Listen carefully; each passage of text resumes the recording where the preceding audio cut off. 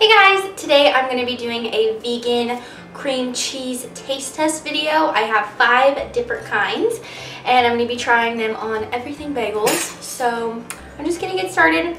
I don't even want to think about how much I spent on all these cream cheeses, but I'm going to start with the cheapest one first. I don't know why I'm swinging my knife. So the cheapest one by far is the Tra Trader Joe's vegan cream cheese. It looks like this and when I opened it I spilled a bunch of the juicy juice on me, so here we go. This is an everything bagel. Did I say that already? I don't remember. Mmm, this is off to a great start.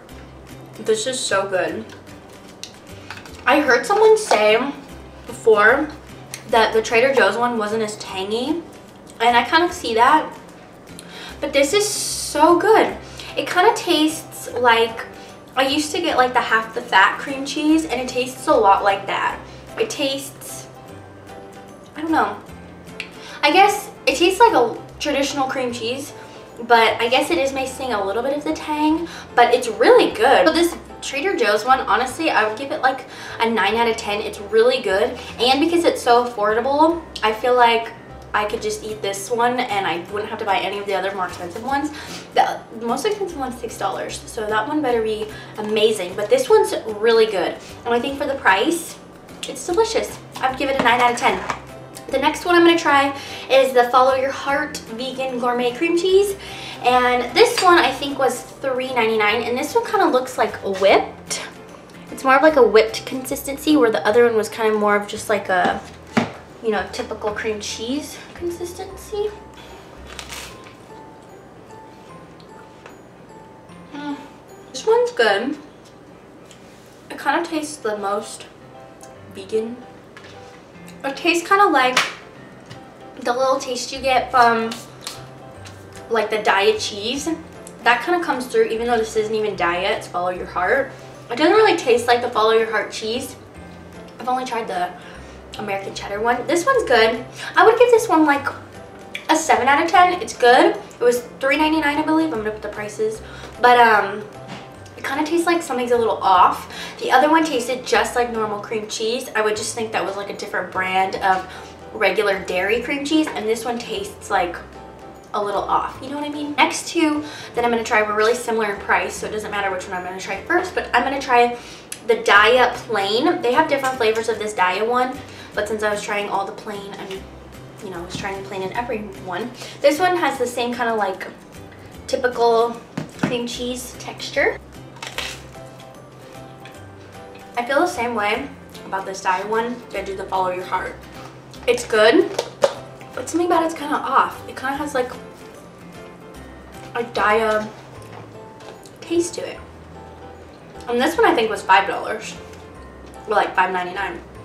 This one was expensive. They also have a chai flavor and a strawberry flavor, I think. Maybe the chai one would be better. But because the Trader Joe's one was so good, that was such a great start. I feel like this one's just kind of eh. Um, yeah, maybe like a 7 out of 10. It just kind of has like a weird aftertaste. Um, same thing with the Follow Your Heart. It just kind of tastes like it's a vegan cream cheese, not like it's just an off-brand of regular cream cheese. The next one I'm going to try is the Tofutti Better Than Cream Cheese Milk-Free No Butter Fat. This one looks like a typical cream cheese. And I think this one was, um, again, like $5.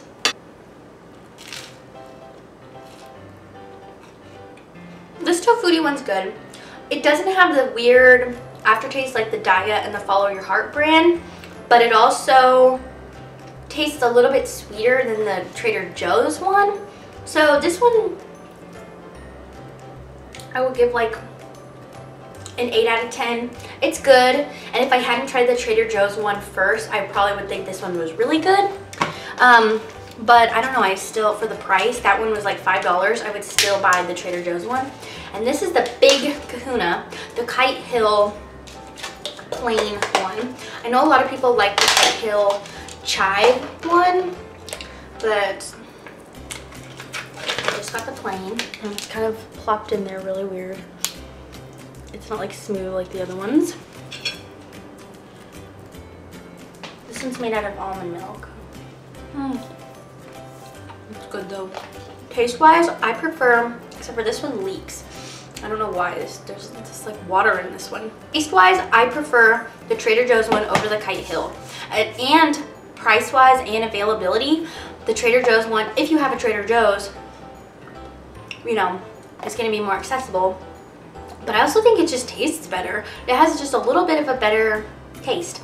Um, if you do have a Whole Foods and you like this Kite Hill one, maybe the chive one is really good. Trader Joe's, this is the only one that they have. They don't have a, you know, chive flavor. They don't have other flavors. And this one they do have, I think it's chive and onion. That one might be really good and might be worth the money. But for as far as plain, I would get the Trader Joe's one.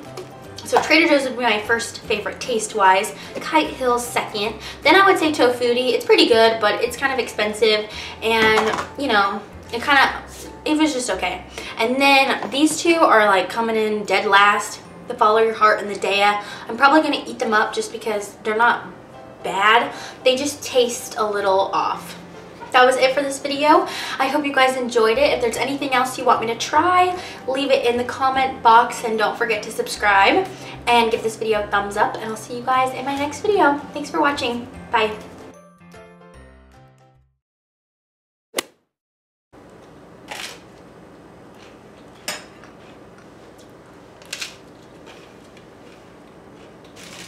I'm so excited.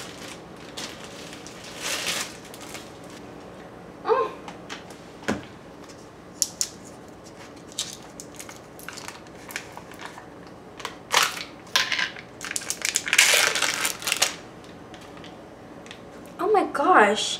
Ew. Oh. I just got cream cheese water all over my shirt. My sweet summer's gone And on my mirror she made it clear Lipstick can't be wrong My summer, summer, my sweet summer is gone sweet summer is gone.